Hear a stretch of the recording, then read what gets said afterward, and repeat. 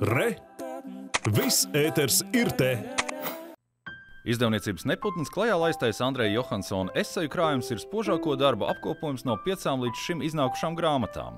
Krājuma sastādītājs Andreja Johansona dēls Pāvils kompilācijai izvēlējies darbus, kuros vislabāk atklājas Johansona kā vēstures zinātnieka un rakstnieka dotības.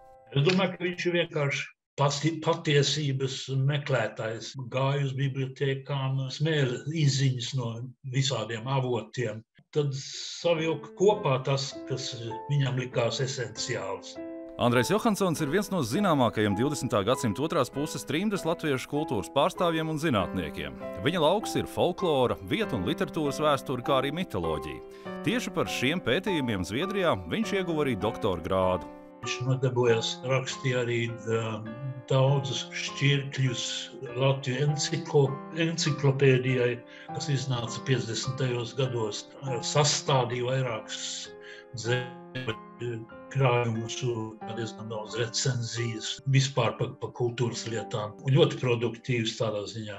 Starp esejām darbi par Oskaru Vaildu un Karlu Sandbergu mijas ar aprakstiem par klīstošo holandietu un umurkumuru. Te ir esejas par Saksijas Moricu un septiņiem gulētājiem. To visu autors apraksta plašam lasītāju lokam saprotamā formā. Viņš rakstīja saprotamā valodā.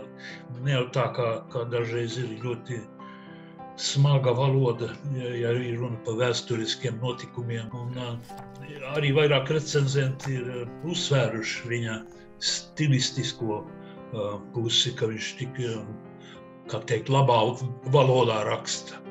Grāmata iznāk Andreja Johansona simtgadē, un kaut arī esejas ir rakstīts pirms vairāk nekā 50 gadiem, Pāvils Johansons ir pārliecināts, tās vēl ilgi būs saistošas visiem vēstures cienītājiem. Jānis Lācis, Harijs Katlaps, Latvijas televīzija.